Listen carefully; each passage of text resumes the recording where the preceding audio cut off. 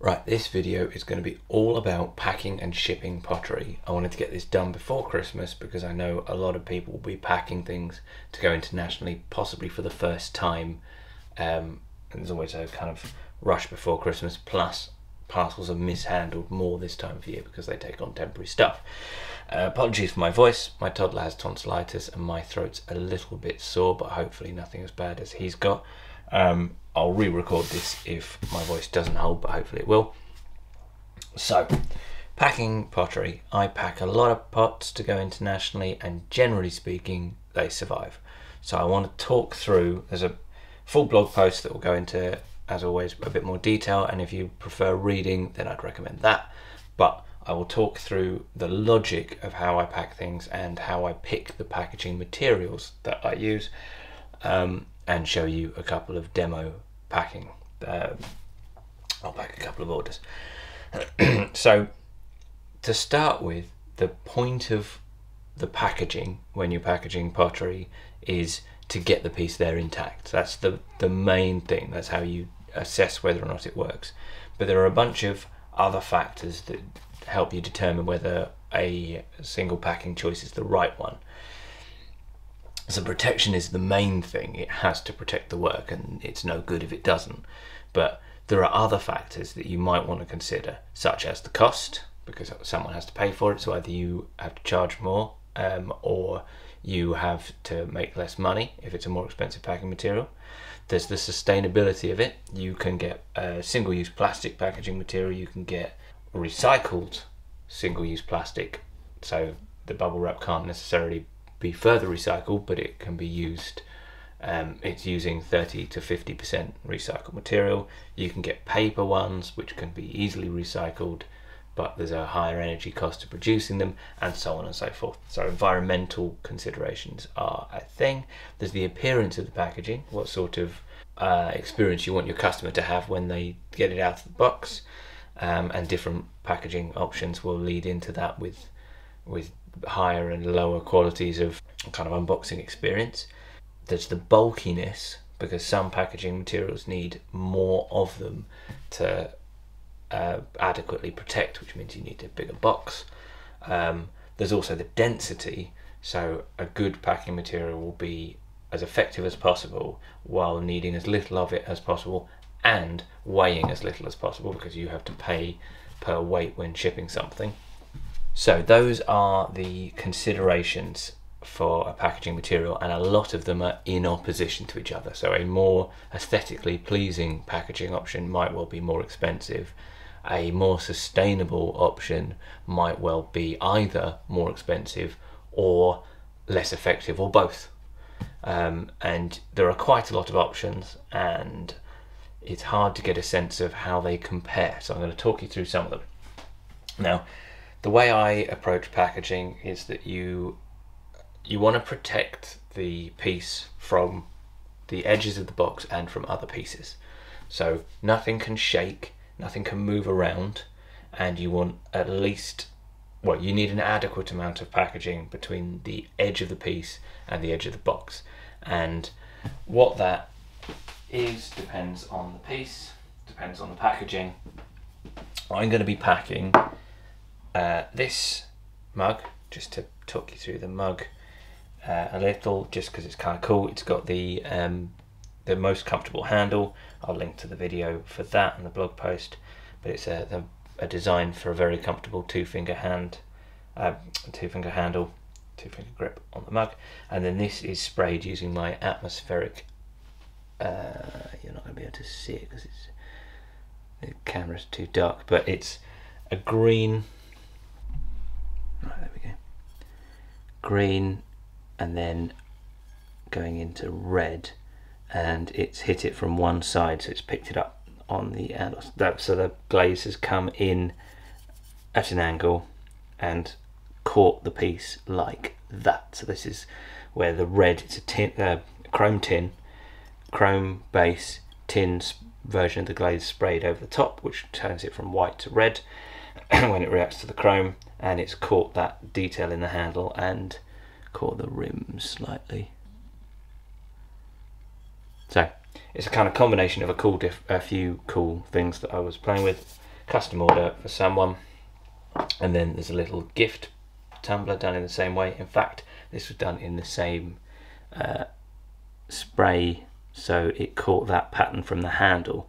The handles obscured that part, uh, but let the let it hit there. So kind of cool. I'm going to pack that up. So I do mine with layers, and the way I look at it is you've got a protective wrap layer, then you've got a void fill, then you've got a cardboard box, and then potentially you've got another void fill and another cardboard box if you're double boxing. So the first thing is what do you wrap these in? Oh, and I should say, um, I said in the, the gift video, but these are thrown so they fit neatly inside. So I can include a little gift in the same style or as a test, a glazed test um, that will sit inside the mug so it doesn't take any up any extra space. So that's what that is. With regards to wrapping them, you've got a couple of choices. The most obvious is bubble wrap. Everyone knows bubble wrap. It's the most common choice for a lot of things because it is really good. And there are a lot of ways of looking at bubble wrap and how effective it is, and it kind of comes out well on pretty much all of them. So uh, it's relatively cheap, it's very flexible and easy to shape around something. So you could, you know, it's not cut ideally for it, but you can wrap and keep it tightly wrapped around a thing. Um, not that's not necessarily the case with all options. Um, because these have a little bit of give in them before they pop, they can withstand repeated impacts and they'll absorb them rather than crumpling, they compress. So they keep absorbing over and over again. It's lightweight, um, it's highly effective for its thickness, you don't need a huge amount of it, so it's not very bulky. Um, it doesn't look great, but it's not the most hideous. Like, they look okay. They look functionally packaged rather than aesthetically packaged. So that's the standard to which everything else is being held. The next best one, as far as I'm concerned, is this Ranpak stuff. So um, Ranpak is a two-part setup where you have a um, a tissue layer and this crisscross cut cardboard layer. So it comes flat on a roll and you expand it, you get a bit of equipment that does that. This is the smaller of the two. They've released a new design, I can't remember, I think it's called Wrap and Go. Um, and they have another one which is a bit bulkier. Um, I went with this one because it's just a bit smaller. But um, if you bought one previously, you've probably got the other one, whatever that's called. Um, and then there's this stuff, which is described as cardboard bubble and it's cardboard that's had this shape stamped into it. Now, it's okay. It's um, not that cheap, not very effective, it's not very flexible, but if you build up enough thickness of it, it will protect things in a slightly better way than a sheet of cardboard would, but not vastly dissimilar. So my preference is Ranpak wherever possible because it's two uh, separate sheets of paper, so you know it's it goes straight into paper recycling and will be very easily recycled, um, and it is effective. I don't think it's as effective as bubble wrap in terms of protection for space taken up. So you will need a bigger box if you're packing multiple things using this because it needs more distance as far as I'm concerned between pieces. You can't pack it as tightly as you can with bubble wrap. But for a single piece, this is fine. Um, and I think it's environmentally better. So I use it on my UK orders and I use it on my international orders of a single item. I don't use it, generally speaking, on my international orders of multiple items because, as far as I'm concerned, the carbon cost of having to use a bigger box and more of other packaging, um, bearing in mind it's going to be flown, uh, for the most part. So it's taking up more space in an aeroplane, and the aeroplane can only hold certain volume. You know, there is a downside to using a bigger box, even if you're not paying for it, uh, as in that you're not being adequately charged. There's a carbon cost to a bigger box.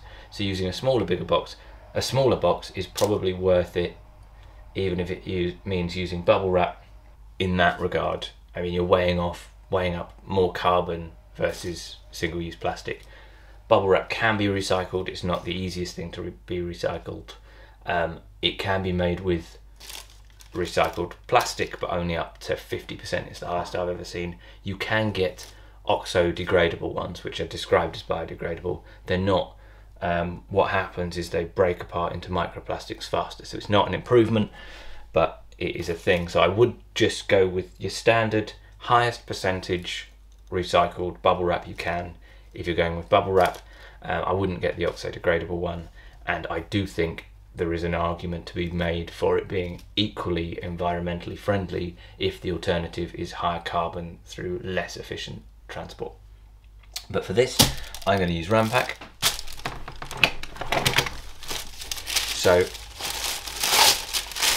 I make these gift tumblers, I've said, and I package them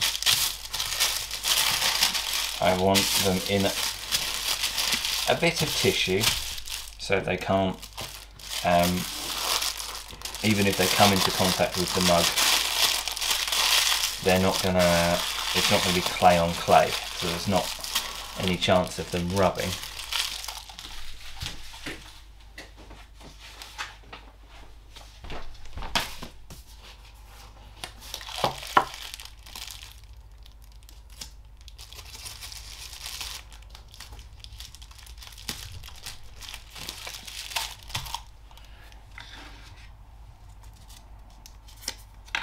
little card saying thank you for your order. It's explaining that this is a gift because um, if I don't include that, every now and then someone thinks it was sent in error. What I do is get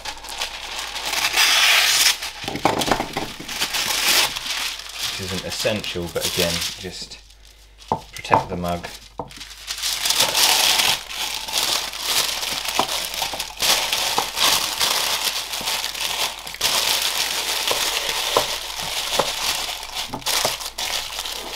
wrap the mug in tissue paper, get some starch packing peanuts. Now, I use starch packing peanuts for everything. I think they're fantastic. They are compressible, but not, they will, they've got some give in them, but they will spring back to a certain extent, so they can take repeated impact. They're light, they are biodegradable, they can be dissolved in water, so you can just wash them down the sink.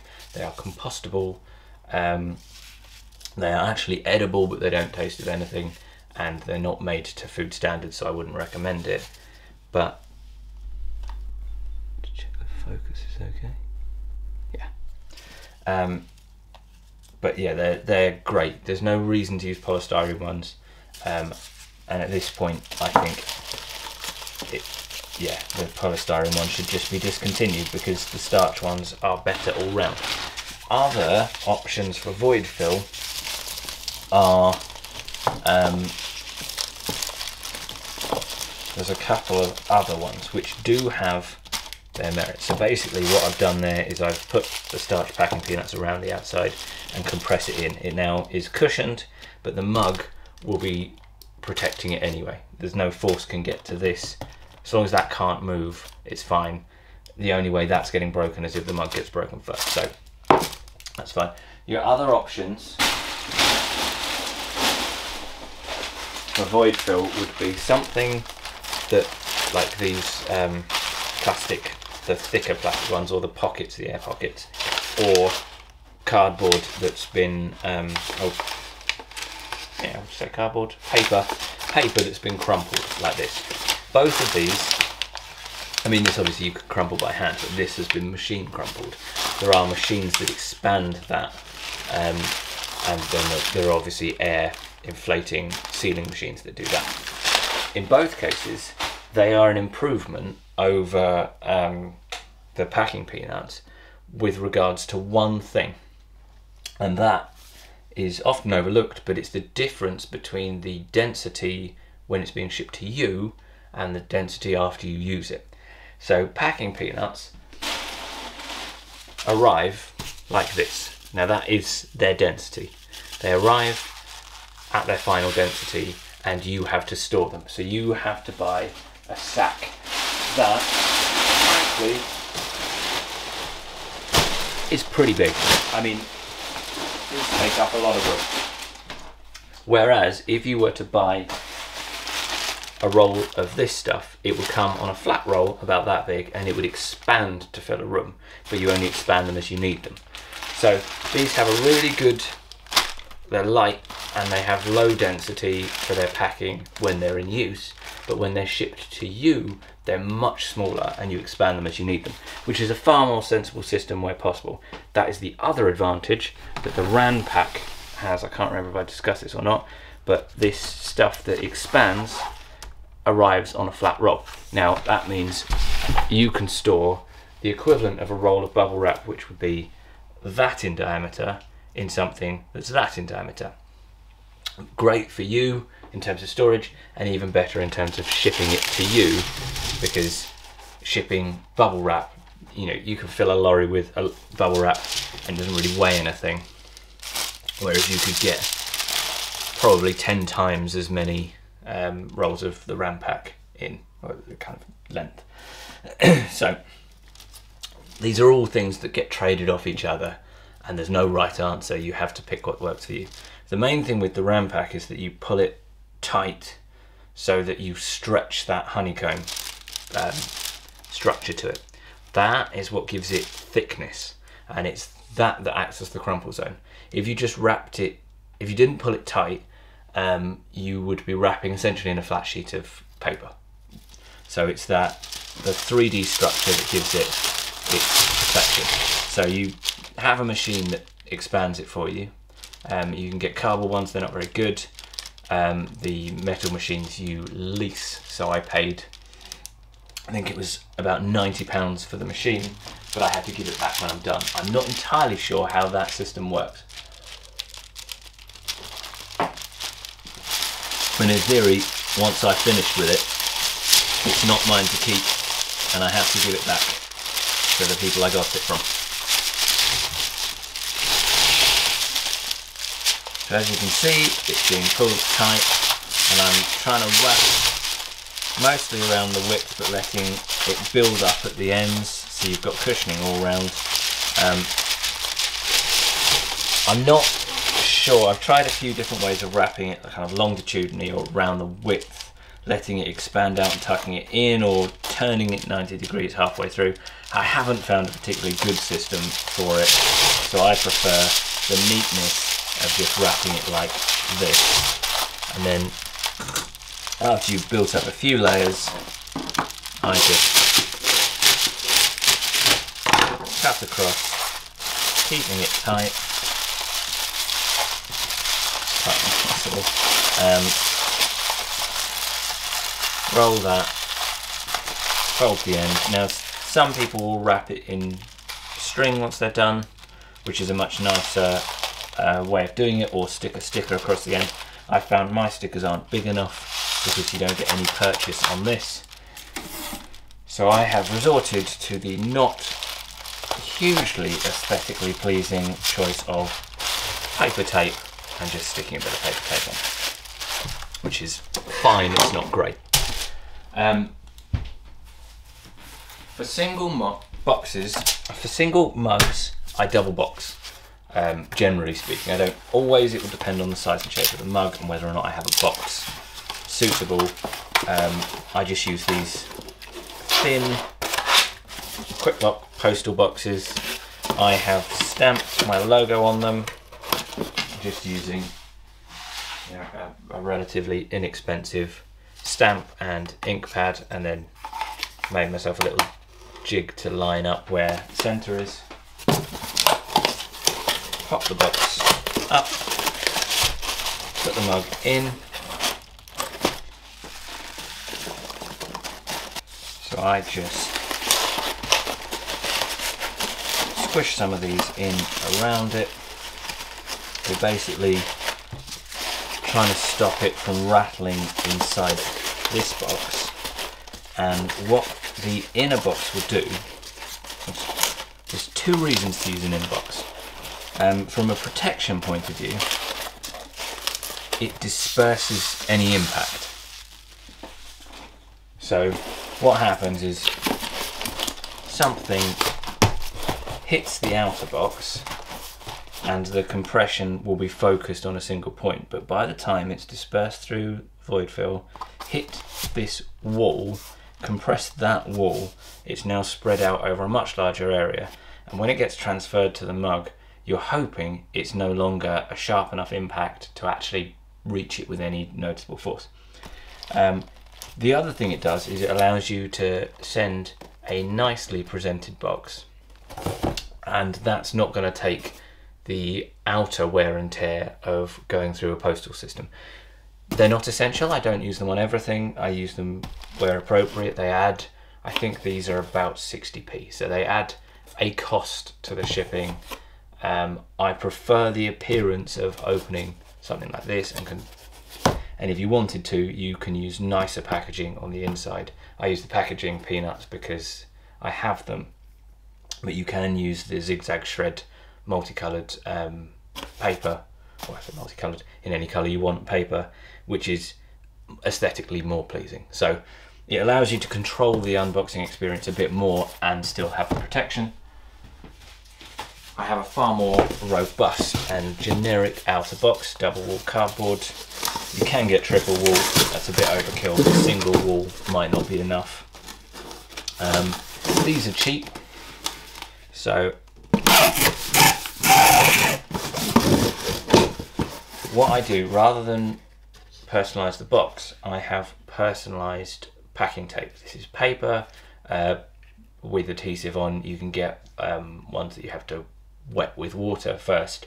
But as far as I know, and I have researched this without being 100% certain, but it seems that these are absolutely fine to be recycled as they are um, and won't cause any issues. So I don't know why you'd want to have one of the, the ones where you have to, the gummed ones where you have to add water. Um, if that's wrong, please let me know. I don't think it is, but I'm not 100% certain. And then you've got a box. This box is smaller, but not huge amount smaller. So basically I can pack peanuts in around it and this box floats in the middle of that box which will disperse any impact. So I put a layer probably an inch thick at the bottom, sit that on the centre, shove a couple of handfuls in and pack around.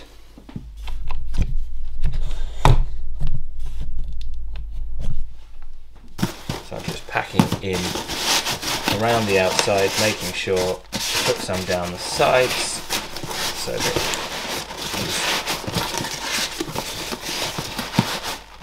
right in the middle with cushioning around and then I'll fill that up in a second and then what I personally do is once that's floating on there I will put the invoice and a business card that tells people how to dispose of the packaging because some people don't know the best way to get rid of these um, they are, as I say, compostable and uh, they say can go in your food waste, they can go down the sink and they will just dissolve and so on and so forth. So people might not know that, so that's what my business card is mostly just uh, packaging information. Put those on top, another layer, seal them. The final point is fragile stickers. Now some people claim that putting a fragile sticker on means that your package is more likely to be mistreated when it goes through the postal service. I don't believe that. Personally, I think that while you might get one or two people handling the thing that have a bad day and want to take it out on something, I think that's unlikely. I think it's far more likely the system just doesn't care. So the people who interact with it won't be paid enough, and some of them won't even be people, there'll be machines that can't read the sticker, um, and they won't be careful with it because they just, you know, they either don't have the willingness or the capacity to treat it any different. So the goal is to pack something such that a, a fairly typical handling of a parcel won't damage the thing inside. And this way of packaging will survive being thrown as hard as I can at the floor. Um, I'll overlap the video of me doing that as a demonstration, as uh, partly as a meme for Instagram, but you know they this is a robust way of packaging and this will survive international journeys. I send plenty of these to Australia, so they they're being thrown the other side of the world and they're okay. And then the final thing is that my I use a label printer. I've got um, Dymo 4XL, which is great for prints the big uh, labels, which are infinitely better than the plastic sleeves because they're faster and they are recyclable. So if you're using plastic sleeves, I would recommend investing in a label printer. It speeds everything up and it's so much more convenient and just better all round. Um, so yeah, finish, wrap it in tape, stick the labels on, off it goes. Now with regards to couriers, uh, it will really depend what your local options are, um, how many you're sending, and what prices you can negotiate, and so on and so forth. I use Royal Mail. They hand it over to the local courier, uh, the local, um, the regional mail distributor in that country. So, so it will be USPS in America or Canada Post in Canada and so on. So Royal Mail don't take it the whole way; they just get it to that country, and then the domestic mail provider will deliver it the rest of the way.